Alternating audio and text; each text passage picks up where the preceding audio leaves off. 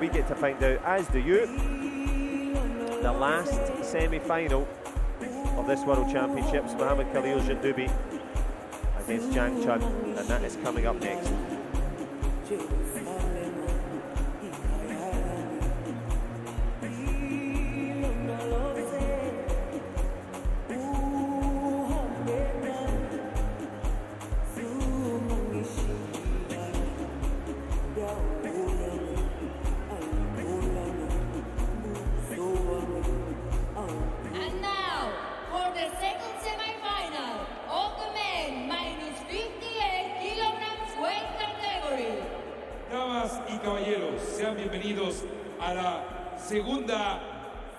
Semifinal en la categoría varonil de menos de 58 kilogramos. Please welcome the referees. Demos la bienvenida a los referees.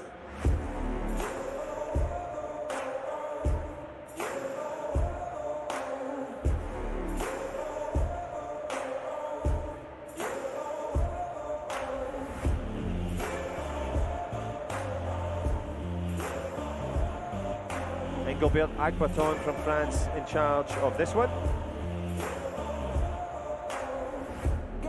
Good experience for him, especially with the Olympic Games in Paris in the offing. Who's going to be in contention? Could it be one of these two? This World Championship final will certainly help on the ranking points on that path to Paris. So i'm in my element. It's everything that there's ever to be so Mohamed Khalil Jendoubi on the way into this one. And we talked with him in Paris, and it was funny because it's not funny for him, obviously. He won silver medal in Olympic Games and three silver medal this year. That's right. In all three Grand Prix, and he told us, I won gold, so this is a new opportunity for him. And look at the fights, 2-0 every fight. That's a great score. He's been at his best, Seyfedin Trabelsi, the coach there.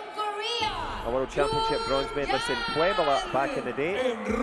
This fighter won't want the same here. Eyes on the prize for him. Can he get himself into the final?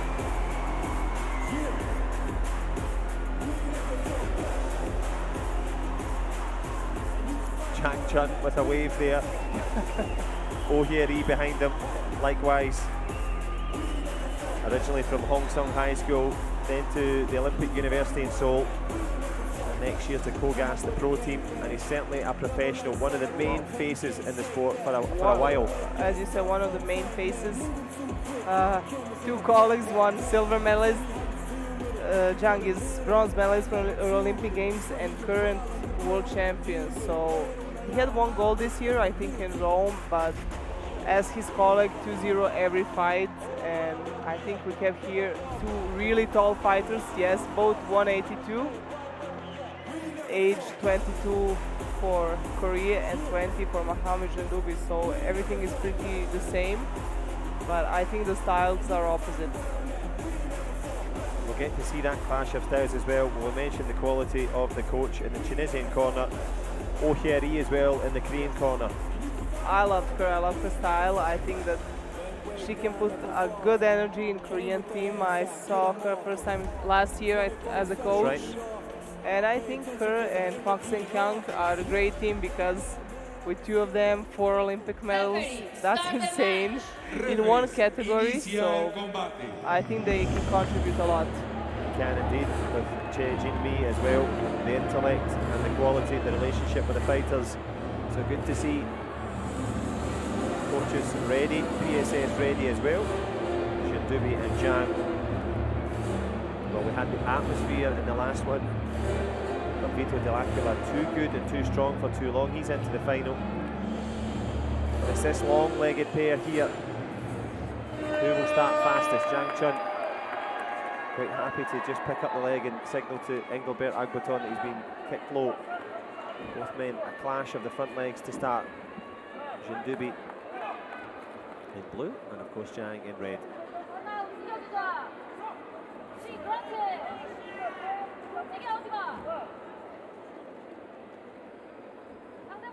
They're just taking their time, running through the database of moves in their head to stick or twist. Coming forward, Jendoubi. looking for work in the clinch, but no space.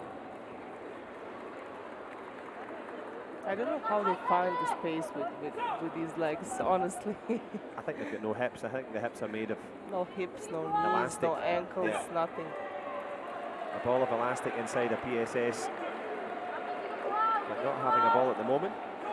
Jendoubi giving away the gam-jeom for being too much blocking with the legs on the inside. Jang Jun for a little punch. Minute and 20.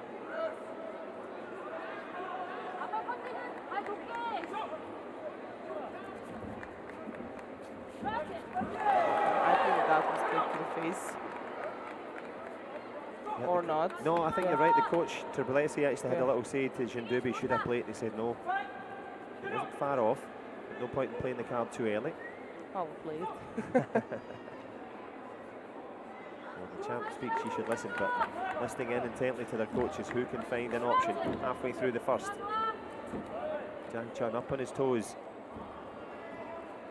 Backline tummy kick, not any power behind it. Good block from the Tunisian.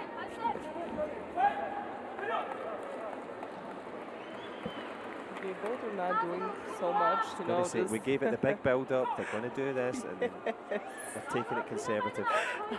Sorry, but No, we both only did. pushing and clashing, Yeah. and sometimes I really don't have what to say. This was a nice try with, with a short kick from the inside, but he deserved only through so to zero for, for Korea.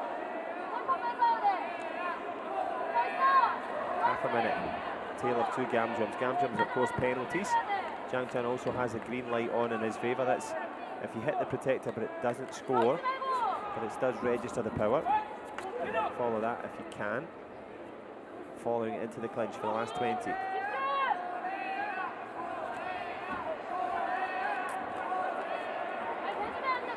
think even make uh, level. If I'm seeing correct, still a zero. And oh, this is the first one, but it is score, so still 2-0 for, for Jang. Yep, Jang Jun will happily take at least the gam-jeom on the way out as he heads off back to his coach. Jendoubi might have one last fling at it to try and step. Jang Jun though gives him a nod. And they're both now within touching distance of the second round. And as we see just on the face there from Jang Jun, you maybe tell us, Melissa, if your first match, I mean these guys are highly ranked, so maybe their first match is around, I don't know, 10, 30, Yes. something like that. Are you coming here at 8 a.m.? Are you coming here at 9 a.m.? Are you there at 6? What, what's your, if it was This you? is, Uh, if it was me, because if you have random in the morning, you obviously need to put your alarm really early just to see if you're there. So if you're not, you can go to breakfast, you can go to eat. But as a seed number two, I think he, he was here from early in the morning just watching his opponents op- and fighting. You know, I uh, usually need one hour to warm up at least, sometimes more. It depends how I'm feeling that day, but it's hard to be 12 hours awake and ready and focused and just to have the same stamina and, and speed in every fight. Yep, key points, as you say, the stamina, but also sometimes the noise, the lights, the whole thing, it can be quite a, a Oh, difficult it's, thing. it's horrible for me to be all whole day in the venue, even if I'm not competing like now. I have to go out for a little bit. It's really tiring to be whole day in the gym. But the time spent in the gym, and it's not Shine retiring from Jang Jun. He pushes one on the board, two up. Jendoubi now, as you mentioned, can he get some hits on the board? He's got every, every skill you need. But Jang, of course, a master of distance. Either too close or too far away every single time. I like now we've seen more of Jang. Chop kick to the face.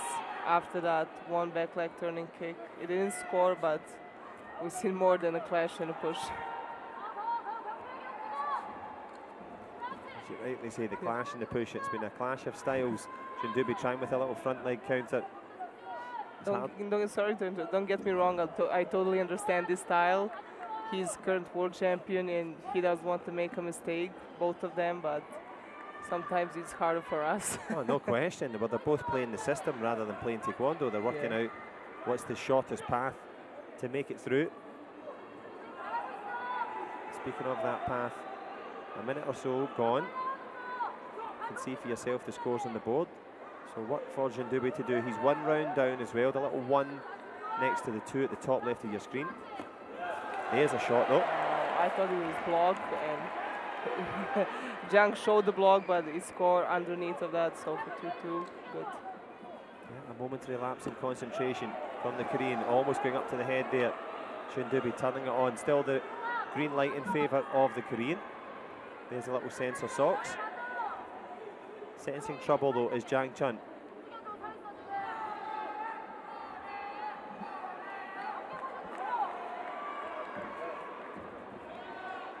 Sometimes it seems to me like he's doing enough for win, you know. He turned the engine on when he's, he's not leading or the, the result is tied, but we'll see. Jendoubi is a great fighter. We saw how experienced he is. He wants to be in the final, but we have 20 seconds more. We sure do. As you say, he's turned the engine on. Can he go through the gears now? Because he's got two hits on the board, and the hits don't lie. However, another nice kick on the inside from Jang Jun. Is there any chance there? Arjun Duby has a little look at his coach. Unmoved, last 10 seconds, two point game.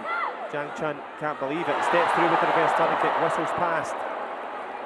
Into the last five we go. Will it be into the final for Jang Jun? Quite rightly, playing the card here as a gam-jeom given as well. Yeah, they, maybe they want to try with the head kick, but I think that was far away. It's it maybe was, too high. Yes, yeah, too high. The momentum was good, speed was good, but I I think he didn't score. We'll What? see. We Yeah, made so many mistakes in the last seven days, so I don't want to talk anymore. That's true. Up and over. Oh, that looks. Unless he flicked it on the way. No, no, no, no. So watch I what- really think he didn't. Watch the reverse, misses, and then does he bring it back? No, he doesn't. So the card looks more than likely to be of no avail. However, the gam-jeom for stepping out makes it a one-point game. So even if the card is gone, Jendoubi's got his breath back. If he can get a score on the board, justifiably. So one score required for Tunisia. Five seconds in which to do it. Jang Jun has one foot in the final. One foot to the body though for Jendoubi. Tries to kick on the inside. Jang Jun trying to avoid the gam-jeom. Can he make it? Will he get the gam-jeom at the end there? The referee going to have a look.